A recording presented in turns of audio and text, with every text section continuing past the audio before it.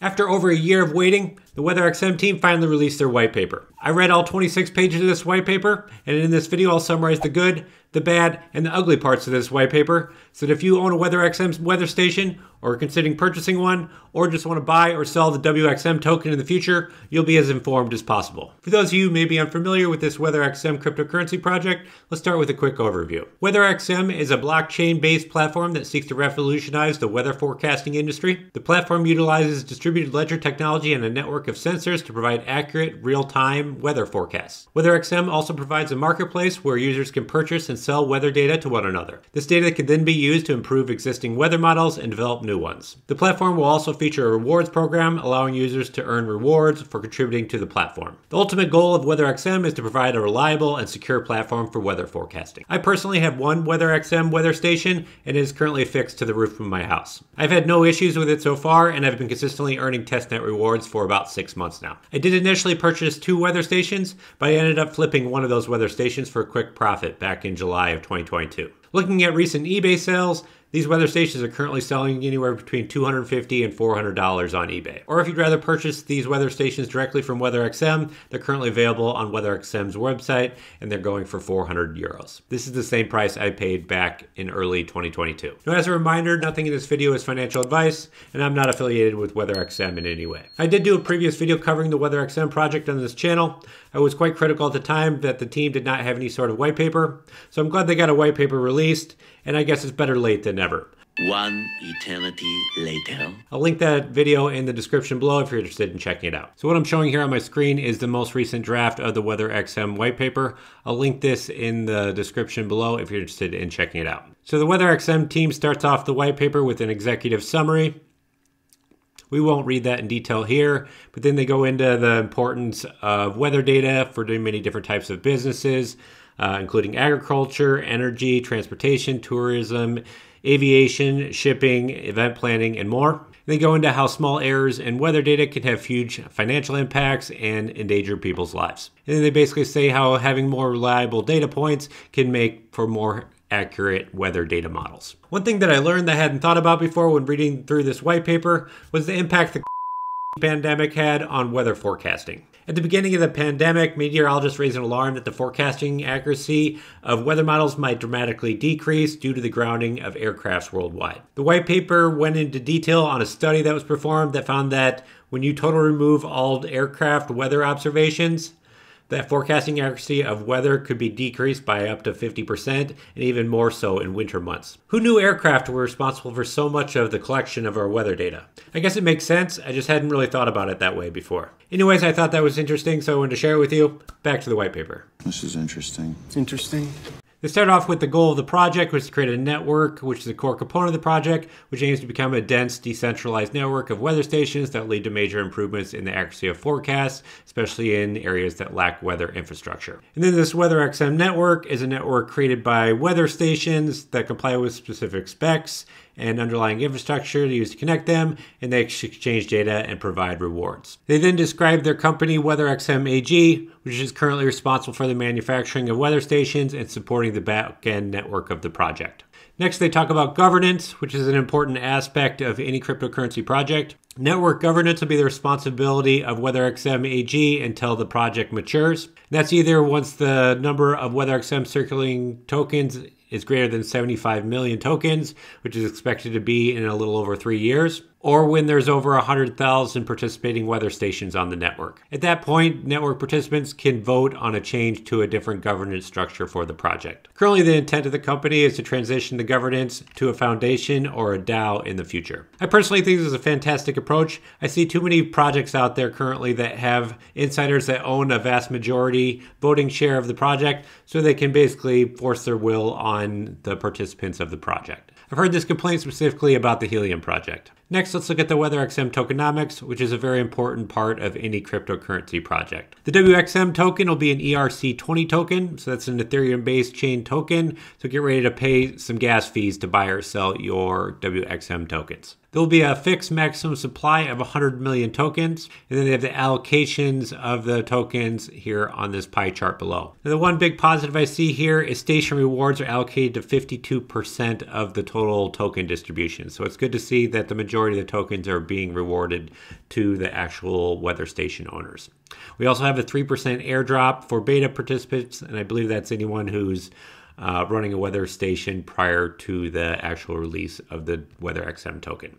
Now they're expecting the WeatherXM token to be released sometime in Q4 of 2023. So essentially, it could be quite lucrative to run your weather station currently because then you would essentially be eligible for this 3% airdrop. Now, the one big concern I have with the token allocation is the 30% allocation to the company investors. In my opinion, this seems like a quite high allocation, but you also have to understand that the company investors are taking pretty much all the risk on their side and they're doing all the legwork to stand up this project. So they should be rewarded. It just seems like a quite high allocation, in my opinion. Next, we go into the token emission schedule. What we can see here is we see some considerable inflation in terms of the number of tokens hitting the market until we hit a full saturation of 100 million tokens in 2028. And also of note, the company and their investors will receive all their tokens in years one through three after which they'll receive no further tokens. And as you can see here, the rewards are heavily weighted in year three, and that's likely as an incentive for them to keep the project on track and achieve project timelines and milestones. Then they give some detail on the beta rewards airdrop, which is 3 million WeatherXM tokens that'll be rewarded to early weather station owners. They then go into the purposes of the different tokens and the different pool allocations, which are really just utilizing tokens for investment, development, and liquidity for the project. Next, let's go over the WeatherXM ecosystem. They put together this nice diagram which shows the different parties involved and how they'll relate with one another. So, as weather station owners, we'll provide weather data to the network, and in return for providing that data, we'll receive WXM tokens. Now, customers will want to purchase this weather data, hopefully, and to purchase that weather data, they'll have to purchase WXM tokens to receive that data. So they'll send those tokens over to the WeatherXM team, and in return, they'll receive the weather data that they're looking for. So essentially, this creates a buy sell market where as station owners we're selling our tokens to the future customers and then they're using those tokens to purchase the weather data and then we're receiving tokens for providing that weather data. So really it helps to create a market of buyer and sellers for the WXM tokens. At least that's the thought. Next, they go through the role of the WeatherXM team for the first three years after the token launch. And the WeatherXM team is responsible for all the hardware and R&D, all the backend infrastructure for the project, as well as providing the data to the network to potential customers, so being uh, a market for customers to purchase the weather data. Next, they go into the different hardware that'll be used and long term, they want to outsource a lot of the manufacturing of these weather stations to third party manufacturers. But the big concern I have with this is these manufacturers will have to comply with specific specs, but they will also have to pay an onboarding fee, which is currently $100 per device. Personally, this seems like a very steep price. It may be a cash grab attempt by the company and could potentially disincentivize manufacturers from getting into this project. But this also may be a way for the team to try to ensure quality of devices, so I can see why they instituted this fee. It just seems like it may be a little steep at this point. Next, they go into the different revenue streams for the project. This is essentially detailing out what different customers will be wanting to use this data and purchase it. Now, this really is the biggest concern I have with this crypto project and pretty much all other crypto projects that are being built out right now. A use case or a data set for a project really means nothing unless you have a customer that's willing to purchase that data. Too many projects out there are building roads to nowhere. If you look at Helium and what they did with their IoT network, you know, they built out a network of over a million hotspots, but no one's actually using that network. And I'm afraid that there's potential where WeatherXM could be on that same path. I hope I'm wrong here, but that is just a big concern I have right now with this project. So back to the revenue streams. So they, they detail out six different revenue streams: historical data, real-time weather data, uh, forecasting data, on-chain authoritative weather data, quality of weather data as a service, and then forecasting accuracy services. One thing I did find interesting is this data set will be available for free for personal use and free as well for academic use. Next, let's go over the big part that everyone cares about the rewards. The amount of rewards you'll receive will be dependent on three factors the location of your weather station, the quality of the weather data that you're providing, and business needs. They then go into great detail on the different hex cell rules and the reward calculation formulas. If you're familiar with Helium, it looks very similar to their rules, but I encourage you to look at it yourself if you'd like to find out more. But what I do know is since the Weather XM token has not yet been released,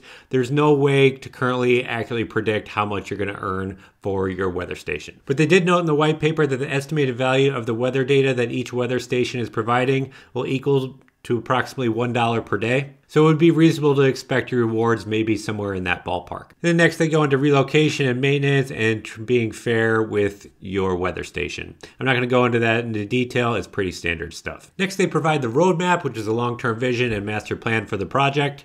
You can see here in 2022, their goal was to create a minimum viable product, which it looks like they achieved.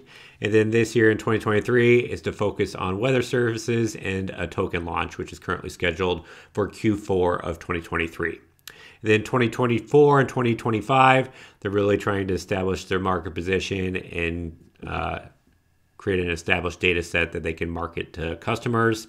And then 26 and 27, transitioning to a DAO uh, to do governance for the project. And then 2027, uh, really making a global impact and uh, building out the the network even further. So I think some lofty goals here over the next several years, but it is nice to see a long-term master plan for the project. Next, they detail the current WeatherXM investors. They show they raised $5 million in seed funding in 2022, and that's via various VCs.